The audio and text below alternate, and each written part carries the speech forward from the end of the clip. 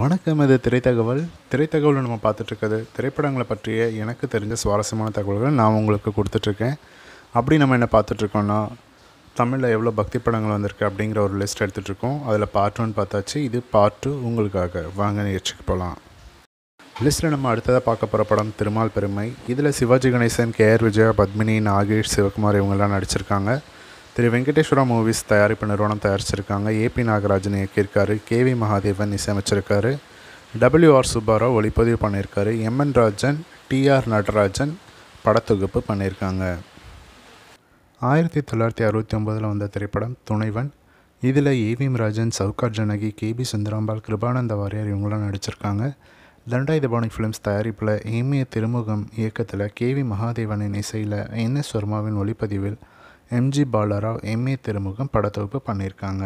படத்தை பற்றிய ஒரு சுவாரஸ்ய தகவல் இந்த படம் முழுமையாக ஒரு வித்தியாசமான ஒரு முறையில் எடுத்திருந்தாங்க. அது என்னன்னு கேட்டிங்கன்னா படத்தின் முதல் பாதி கருப்பு விலையிலையும் இரண்டாவது பாதி கலர்லேயும் இருக்கும். அது இரண்டாவது ஒரு பக்தி படம் தேசிய அளவில் ரீச் ஆனது முதல் முறை இதுதான். அது கேபி சுந்தராம்பால் அவங்களோட குரலுக்காக. ஆமாங்க நைன்டீன் சிக்ஸ்டி நைனில் நேஷ்னல் ஃபிலிம் அவார்டில் பெஸ்ட் ஃபீமேல் பிளேபேக் சிங்கருக்கான அவார்ட் கேபி சுந்தராம்பால் கிடச்சிருக்கு.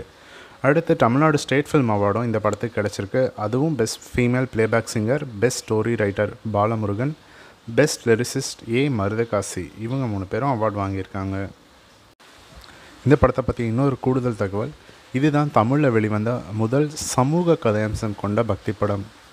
அது என்ன சமூக கதையம்சம் கொண்ட பக்தி படம் அப்படின்னு கேட்டிங்கன்னா அதாவது இதுக்கு முன்பு வெளிவந்த படங்கள் எல்லாமே புராணங்களையும் இதிகாசங்களையும் மையமாக வச்சு தான் இருந்தது. இதுதான் முதல் முதலாக ஒரு நடுத்தர குடும்பம். அவங்களுக்கு ஒரு கஷ்டம் வருது. அவங்க முருகனை நம்புகிறாங்க ஸோ முருகன் மூலமாக எப்படி அவங்களுக்கு அருள் கிடைக்குது அப்படிங்கிறத தான் இந்த படத்தில் சொல்லியிருந்தாங்க. இதுதான் சமூக கதையம்சம் கொண்ட பக்தி படம். அடுத்து ஆயிரத்தி தொள்ளாயிரத்தி எழுபதில் வெளிவந்த படம் நம்ம வீட்டு தெய்வம். இதில் முத்துராமன் கே ஆர் விஜயன் நாகேஷ் இவங்கெல்லாம் நடிச்சிருக்காங்க. காமாட்சி ஏஜென்சிஸ் தயாரிப்பில் ஜிஎன் வேலுமணியோட இயக்கத்தில் குன்னக்குடி வைத்தியநாதனோட இசையில் எஸ். பாஸ்கர் ராவ் ஒளிப்பதிவில் ஆர்ஜி கோபு கே. சுப்பையாவோட படத்தொகுப்பில் வெளிவந்தது. கதை திரைக்கதை வசனம் இயக்கம் படத்தில் தம்பி ராமையா ஒரு டைலாக் சொல்லுவார். இந்த படத்தோட இன்ட்ரோ பிளாக்கை பற்றி தான் அது. என்னென்னா முத்துராமன் கே. ஆர் கொலை பண்ணிவிட்டு வீட்டுக்கு வந்து கதவை திறப்பார். ஆனால் அங்கே கதவை திறந்தோன்னா அங்கே கே. ருஜா நின்றுட்டுருப்பாங்க அப்போ இன்டர்வல் விடுவாங்க. இதுக்கு முன்னாடி இந்த மாதிரி ஒரு இன்ட்ரோல் சீக்வன்ஸ் தமிழ் சினிமாவில் வந்ததில்லை அப்படின்னு சொல்லுவார். அது இந்த படம் தான் அடுத்து ஆயிரத்தி தொள்ளாயிரத்தி எழுபத்தி ஓராம் ஆண்டு வந்த திரைப்படம் ஆதிபராசக்தி. இதில் ஜெமினி கணேசன் ஜெயலலிதா பத்மினி வரலட்சுமி சிவகுமார் இவங்கெல்லாம் நடிச்சிருக்காங்க. சித்ரா ப்ரொடக்ஷன்ஸ் தயாரிச்சிருந்தாங்க. கே எஸ் கோபாலகிருஷ்ணனோட இயக்கத்தில் கேவி மகாதேவனோட இசையில் கே எஸ் பிரசாத்தின் ஒளிப்பதிவில் ஆர் தேவராஜன் படத்தொகுப்பு பண்ணியிருந்தார். அந்த வருடத்தில் எம்ஜிஆருக்கு நான்கு படங்களும் சிவாஜிக்கு ஒன்பது படங்களும் வெளியாகி இருந்தாலும் அந்த திரைப்படங்கள் பண்ணாத வசூல் சாதனையை ஆதிபராசக்தி செஞ்சு காட்டுச்சு. அடுத்து ஆயிரத்தி தொள்ளாயிரத்தி எழுபத்தி ரெண்டாம் ஆண்டு அகத்தியர் படம் வந்திருக்கு. இதில் சீர்காழி கோவிந்தராஜன் டிஆர் மகாலிங்கம் ஏவிஎம் ராஜன் இவங்கெல்லாம் நடிச்சிருந்தாங்க. ஸ்ரீ விஜயலட்சுமி பிக்சர்ஸ் தயாரிப்பில் ஏபி நாகராஜனின் இயக்கத்தில் குன்னக்குடி வைத்தியநாதனின் இசையில் டபிள்யூஆர் சுப்பாராவோட ஒளிப்பதிவில் விஜயரங்கம் படத்தொகுப்பு பண்ணியிருந்தாங்க. இதுவும் நூறு நாள் கண்ட வெற்றி படம். அதே ஆண்டு வெளிவந்த இன்னொரு பக்தி படம் தேவரின் தெய்வம். ஜெமினி கணேசன் சிவகுமார் கே ஆர் விஜயா இவங்களாம் நடித்த இந்த திரைப்படத்தை தண்டாயுதபாணி ஃபிலிம்ஸ் தயாரிச்சிருந்தாங்க. எம்ஏ திருமுகம் இயக்கத்தில் குன்னக்குடி வைத்தியநாதன் இசையமைச்சிருந்தார். இந்த படத்தின் கதை ஆறு சிறு கதைகளை கொண்டது. ஒவ்வொரு கதையும் முருகனின் அறுபடை வீடுகளில் நடக்கிற மாதிரி காமிச்சிருப்பாங்க. இன்னொரு விஷயம் இதில் திருச்செந்தூரில் போர் புரிந்த அப்படிங்கிற பாடல் திருச்செந்தூர் கோவிலில் மூன்று மணி நேரத்தில் படமாக்கப்பட்டது. அதே ஆண்டில் வெளிவந்த இன்னொரு பக்தி படம் சக்தி லீலை. இதில் ஜெமினி கணேசன் கேஆர் விஜயா சரோஜா தேவி ஜெயலலிதா இவங்கெல்லாம் நடிச்சிருந்தாங்க.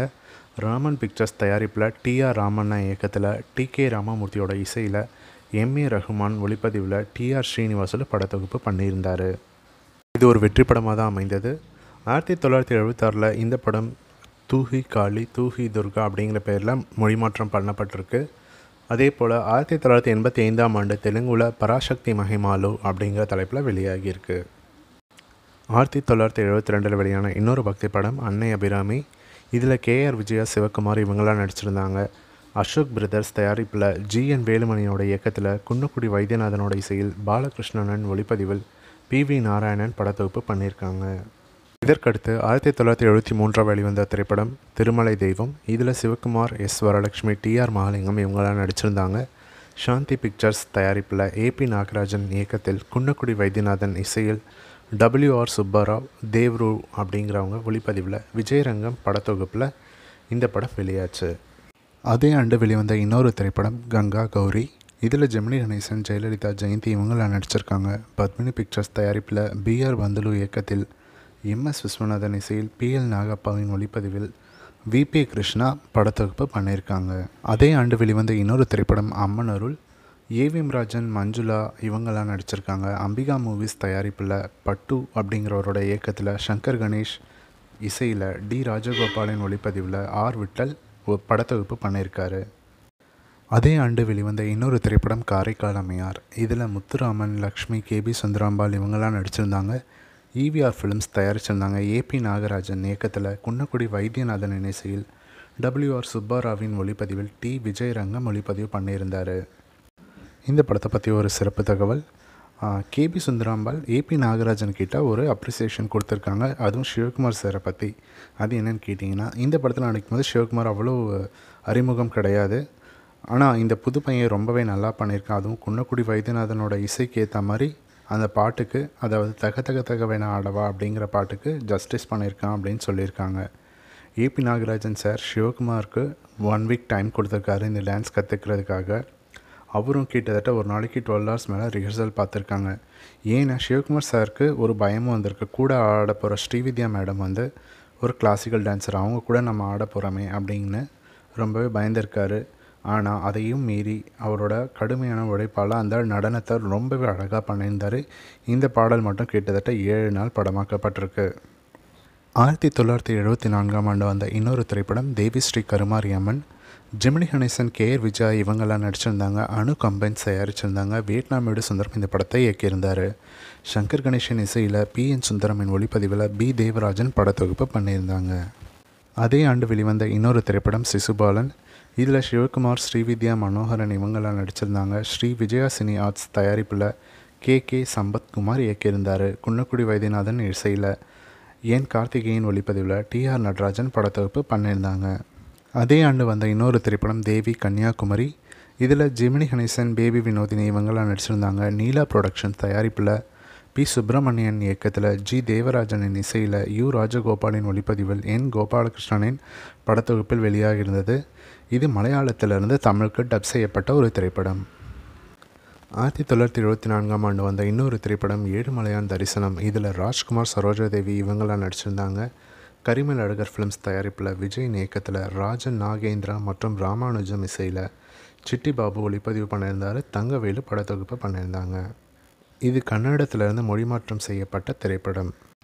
அடுத்து ஆயிரத்தி தொள்ளாயிரத்தி எழுபத்தி ஐந்தாம் ஆண்டு வெளிவந்த சுவாமி ஐயப்பன் திரைப்படம் இதில் ஜெமினி கணேசன் ஸ்ரீவித்யா இவங்கெல்லாம் நடிச்சிருந்தாங்க. நீலா ப்ரொடக்ஷன்ஸ் தயாரிப்பில் பி. சுப்பிரமணியம் இயக்கத்தில் ஜி. தேவராஜனின் இசையில் மஸ்தானின் ஒளிப்பதிவில் என் கோபாலகிருஷ்ணன் படத்தொகுப்பு பண்ணியிருந்தார்?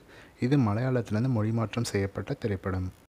அதே ஆண்டு வந்த இன்னொரு திரைப்படம் திருவருள். இதில் ஏவிஎம் ராஜன் நடிச்சிருந்தார். தண்டாயுதபாணி ஃபிலிம்ஸ் தயாரிப்பில் ஆர். தியாகராஜன் இயக்கத்தில் குன்னக்குடி வைத்தியநாதனின் இசையில் வெளிவந்தது இந்த படம். அடுத்து ஆயிரத்தி தொள்ளாயிரத்தி எழுபத்தி ஆறாம் ஆண்டு வெளிவந்த படம் தசாவதாரம்.